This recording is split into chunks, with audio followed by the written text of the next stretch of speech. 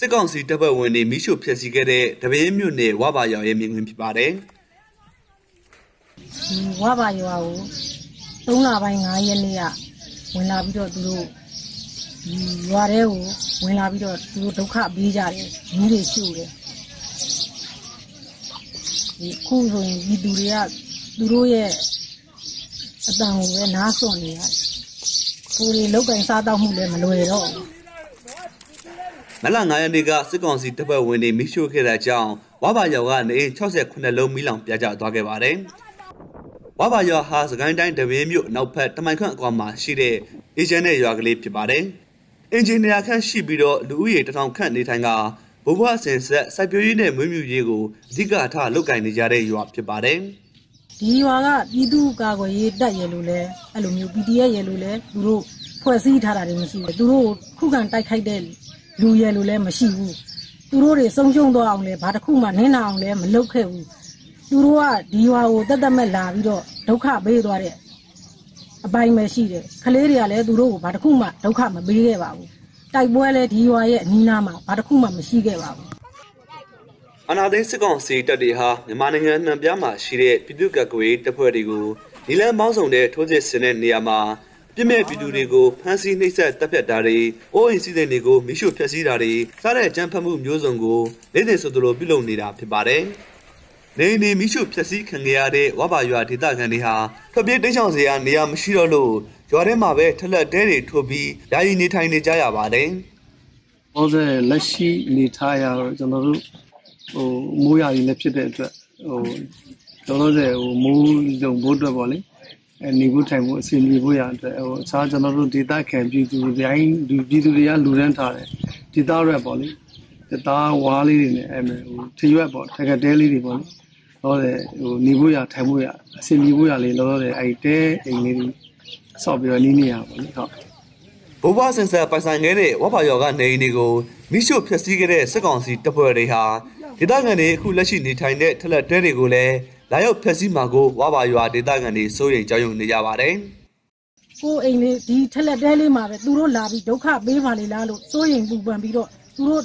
လာဒုက္ခပေးမှာကိုပဲစောင့်နေရလို့ထမင်းစားပြီးစောင့်နေရတယ်လို့ဖြစ်နေ။ကိုရွာလေးကိုနေပြီးမအေးချမ်းဘူး။ညဆိုးလဲကောင်းကောင်းမအိပ်ရဘူး။နားစွန်ပြီးတော့ဖြောင်းဖြောင်းတန်းတန်းအိပ်ရတဲ့ရက်ရဲလို့လည်းမရှိဘူး။ကိုရွာလေးကိုနေရပြီမဲ့စိတ်တော့ကတွေအများအားရောက်နေရတယ်။ကျွန်တော်တို့ နေမီအရာစိတ်ချရမှုဟိုလုံးလုံးမရှိဘူးလေဘာလို့မရှိသလဲဆိုတော့ဒီဟိုစစ်တပ်ဟိုလက်နက်ကင်အုပ်ချုပ်နေတဲ့ငါကာလပတ်လုံးချုံမှုဆိုတော့ရှိလာမှာမဟုတ်ဘူး။ဟိုရှိလာမှာမဟုတ်ဘာလို့ကျွန်တော်ပြောနိုင်တယ်လဲဆိုတော့အရင်တော့ကျွန်တော်တို့အိမ်လေးဟိုဘုံဘွားအဲ့ဒီလက်ချက်ကနေဆောက်ခဲ့ကြတယ်ဟိုခိုင်လုံတဲ့အိမ်လေးအုပ်တွေနဲ့ဆောက်ခဲ့တဲ့အိမ်တွေတော့မှလုံးချုံမှုမရှိပဲမိရှုသွားတာဟုတ်။အခုလက်ရှိအနေနဲ့အားလားအဲ့ဟာတွေရဲ့အပုံတရားပုံတပုံလောက်ပဲရှိတဲ့တဲလေးတွေနဲ့ထိုးနေရတာကြာပြီဘယ်လိုလုပ်မှလုံးချုံမှုရှိလာမှာမဟုတ်ပါဘူးနော်။ဘာလို့မရှိတယ်လဲဆိုတော့ ဟိုစစ်စစ်ဆိုတာထက်ခုနကလက်နက်နဲ့အုပ်ချုပ်တဲ့ဟိုအုပ်ချုပ်မှုစနစ်အောက်မှာတော့ဘယ်လိုလင်းနေမှလုံခြုံမှုရှိဆိုတော့ရှိလာမှာမဟုတ်ပါဘူးဟုတ်အခုလောတယ်လေသူတို့ရမ်းမဲ့ကျွန်တော်တို့မှကြောက်နေရတာလေခုလည်းနေရထိုင်နေရတာကြီးလန်းစာစာပဲချိန်လာမှမလေးညချိန်လာမှလာလိုက်ဆိုလားတိတ်ထဲဟိုလာတာတနွေးနွေးနဲ့နေရထိုင်ရတာညတိုင်းလဲခေါင်းပြောင်းအိပ်ရအောင်တောင်ဝတန်ကြရင်အဲ့ဒါကျွန်တော်တို့တစ်ခါတလေဆိုလဲစနစ်တစ်ချက်အဲ့ဒါလာတဲ့ပြီးရဆိုတော့ရဖာရထွက်ရပြရတာအိမ်ကအကုန်ပြစ်ထားရတာ စစ်ကောင်စီတပ်ဖွဲ့ဝင်တွေဟာဝါပါရွာကိုလာရောက်ပြီးအကြမ်းဖက်နှိပ်စက်မှုတွေထပ်မလုပ်သည့်တိုင်အောင်အဝေးကနေလက်နက်ကြီးတွေနဲ့ချိန်ချောက်ပစ်ခတ်မှုတွေလုပ်နေစေပါ။ဒါကြောင့်စံတဘာစိုက်ပျိုးရေးကိုအဓိကလုပ်ကင်လာကြတဲ့ဝါပါရွာဒေသခံတွေဟာမိုးရစီရောက်လာခဲ့ပေမဲ့သူတို့ရဲ့လေယာတွေထဲမသွားရဲသလိုထွန်ရိုက်စိုက်ပျိုးမှုတွေလည်းမလုပ်နိုင်ကြပါဘူး။ကျွန်တော်တို့ဒေသဒေသချူပူပေါ်ဆန်းထွက်တဲ့ဒေသဖြစ်တ ယ်။ချူပေါ်ဆန်းထွက်တဲ့ဒေသဆိုကျွန်တော်တို့အခုလောလောဆယ်လက်ရှိရမိုးသဘာအရာဆိုလို့ရှိရင်ကျွန်တော်တို့လက်နဲ့ကြီးတွေနဲ့ပြစ်တယ်အဲစဘာဆိုင်တွေတို့မြလက်နဲ့ကြီးကြမှာလေလားဆိုတော့စိုးထိတ်စိတ်ကြောက်ရွံ့စိတ်တွေနဲ့ဟိုမဆိုင်ခရအောင်မပြုတ်ခရအောင်လေလက်ထားရတယ်ဗျအပရမတစ်ချက်စီးပွားရေးကြီးအဲ့ချိန်မှာဒီအောင်မီခိုပြီးတော့စားနေရတဲ့တောင်သူလယ်သမားတွေဖြစ်တဲ့အတွက်တော့တော့အဆင်မပြေဘူးညာ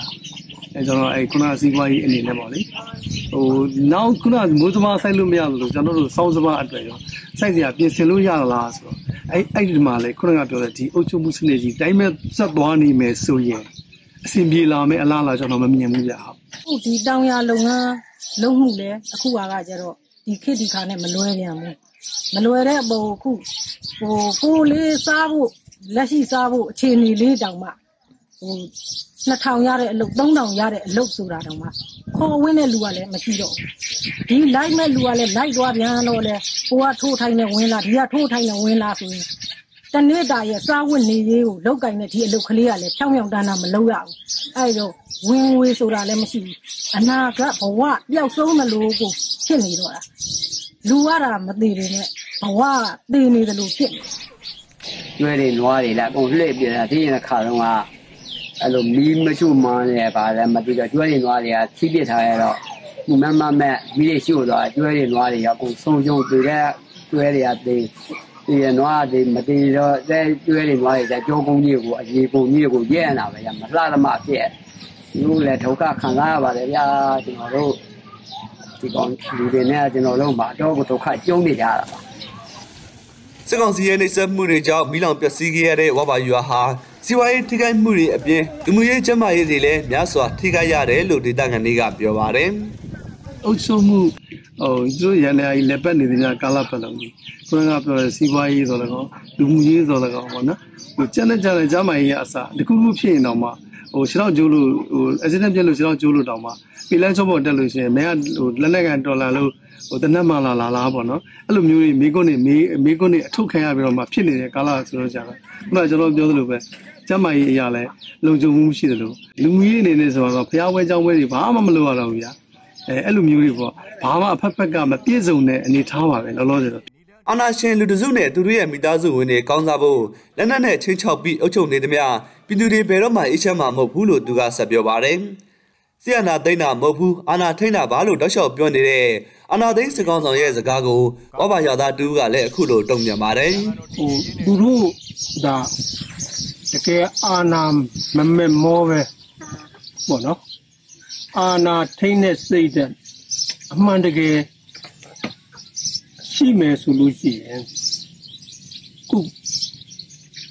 ဟိုသူတို့ရဲ့လုံနေကြလုံရက်တွေဖြစ်တဲ့တောရွာတွေကိုမီးရှို့တယ်ဖျားကြူဖျားကြမှာသူတို့ကြောက်လို့ပုံနေတဲ့လူတွေကိုယောက်ျားမိန်းမကလေးကိုဝင်ဆောင်ကမကြံပါနော် ဟိုပြစ်တတ်တယ်အဲ့ဒီရဲ့လုံရက်တွေဒီဟိုအာနာထင်းကျင်တဲ့လူတစ်ယောက်ရဲ့လုံရက်စိတ်ဓာတ်မဟုတ်ပါဘူးလို့သူတို့အာနာမြဲဖို့အတွက်ဟိုလူတွေကိုလုံးဝကြောက်တရားသူတို့ကိုကြောက်အောင်ဘာတစ်ခုမှမမမမမပြောဆိုနိုင်တော့အောင်ဖိနှိပ်ထားတဲ့လုံရက်သူတို့အာနာ တည်တံ့ခိုင်မြဲဖို့အတွက်လှုပ်ဆောင်နေတဲ့လုံရက်တွေလုံရက်တွေဖြစ်ပါတယ်လို့ပဲကျွန်တော်ပြောချင်ပါတယ်စစ်ကောင်စီရဲ့ဖိနှိပ်မှုတွေကြောင့်အေချမ်းစွာနေထိုင်ပြီးရိုးသားစွာလဲရလောက်ကင်စားတော့ကြတဲ့ဝဘဒေသခံတွေဟာအခုတော့အာနာရှင်ကိုယွန်ရှာမုန်းတီးနေကြပြီဖြစ်ပါတယ်။ဒေသခံပြည်သူတွေနည်းနည်းလာလာကစုဆောင်းလာခဲ့တဲ့စီဝါဥစ္စာပစ္စည်းတွေကိုတမနက်သေးတည့်ရသေးတဲ့ပစ္စည်းအောင်လုပ်သွားတဲ့အစိုးရအောင်တော့ကျွန်တော်တို့ကလိုလားမှုတောင်းတမှုမရှိဘူးဗျာ ဟိုနောက်ထပ်လည်းဒီလိုလေးမျိုးတွေဆက်လုပ်နေမယ်လို့လည်းကျွန်တော်တို့ကယူဆတဲ့အတွက်နေမီအေးချမ်းလုံခြုံမှုဆိုတာတော့အလင်းဖြစ်လာမယ်မထင်ပါဘူးဟုတ်အခုသူတို့ကဒီပြည်သူတွေကိုဝင်လာလိုက်ဒုက္ခပေးလိုက်ဆိုတော့ဒီပြည်သူတွေကျမတို့ရဲ့ပြည်သူတွေကသူတို့ကိုဘလို့မှလိုလားပြီးလက်ခံနိုင်တဲ့အစိုးရသူတို့ကဖြစ်မလာတဲ့အတွက်ကျမတို့ပြည်သူတွေကလည်းကိုတတ်နိုင်ရလေးတွေနဲ့ဒီလိုလေးတွေ သူတို့ကိုစန့်ကျင်နေလို့ပဲကျမတို့ကမြင်ပါတယ်နိုင်ငံအနှံ့ပြားရှိတော်ရောမြို့ပါမကြံနှိမ့်ဆက်နေတဲ့အာနာရှင်လက်အောက်ကလွတ်မြောက်ဖို့ဆိုရင်အာနာရှင်တော်လှန်ရေးမှာပြည်သူတရက်လုံးကြာရနေရက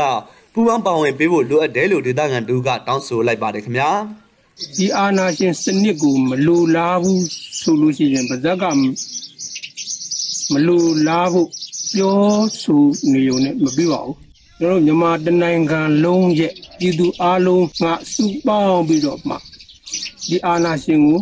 တပြေးညီပေါ့ဗျာလက်တွဲညီညီတွန်းလှန်နိုင်မှဟိုသူများတိုင်းနေလုပ်တယ်လို့ဥပမာလို့စကိုင်းတိုင်းလို့မကွေးတိုင်းလို့ဟို